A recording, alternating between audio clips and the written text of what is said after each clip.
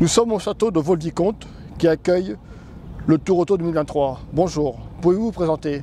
Bonjour, je suis Alexandre de Vauguet, je suis directeur du euh, mécénat et des relations extérieures et je suis l'un des propriétaires du château de Volvicomte. Pouvez-vous nous parler de l'histoire du château?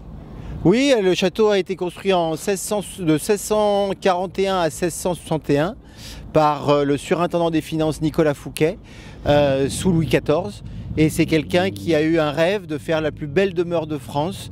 Et il s'est entouré pour cela des trois meilleurs artistes de son temps, le Vaux, le Brun et le nôtre, pour faire le chef-d'œuvre qui est derrière moi.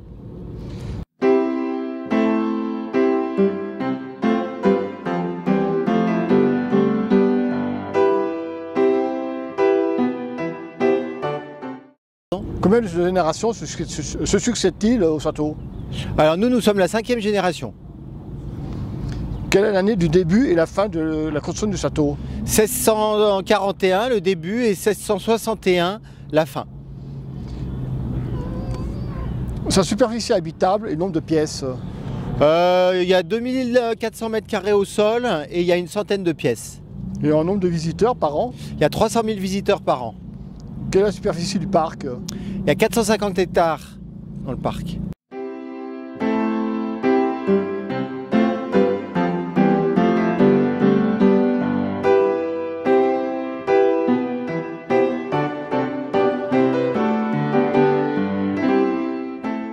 Et quel type d'arbres peut-on retrouver dans le... et leurs années Et leurs années Ouais. Alors euh, le maréchal c'est un chêne qui doit avoir plus de 200 ans.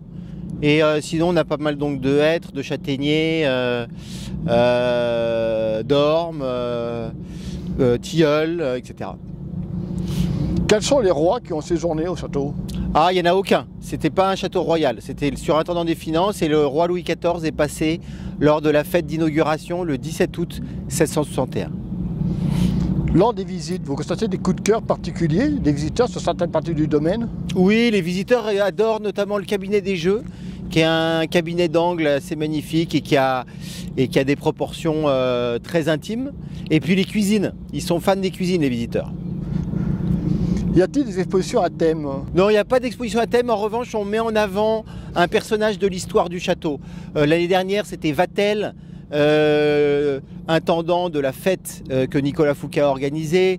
On a eu Molière, La Fontaine, donc des gens qu'on met en avant au gré de- d'expositions ou d'animations dans le jardin et dans le château pour les visiteurs.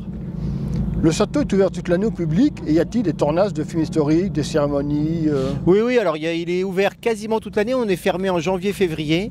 Et euh, on le loue pour des mariages, on le euh, loue pour des fêtes privées et autres. Et puis surtout, on a un, certain nombre d'événements grand public comme Pâques, comme la journée grand siècle, comme les soirées aux chandelles. et Noël. Noël qui est la, plus belle saison, en tout cas en termes de visiteurs. On parlait euh, du Tour Auto.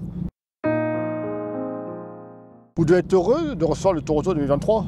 Ah oui, c'est un plaisir que de recevoir ces belles, euh, belles voitures et ces, et ces pilotes. Est-ce une première pour vous? Non, c'est la quatrième fois qu'on reçoit le, Auto hein, cette année. Parmi les voitures qui sont présentées, quelles sont les, vos préférences euh? Bon, j'ai pas vraiment de préférence parce que j'y connais pas grand chose, mais j'aime bien, euh, j'aime bien regarder certaines lignes, euh, le bruit des moteurs. euh, c'est, je trouve que c'est assez merveilleux que d'avoir euh, la beauté de ces carrosseries euh, qui fait partie d'un patrimoine vivant euh, bah, qu'on essaye de faire vivre aussi ici à notre échelle. Après avoir vu le Tour Auto, serez-vous intéressé pour participer? Non, Y a-t-il un calendrier des manifestations organisées au château et comment vous retrouvez? Alors oui, il y a un calendrier de toutes nos manifestations qu'on trouve très simplement sur notre site internet volvicomte.com. Je vous remercie.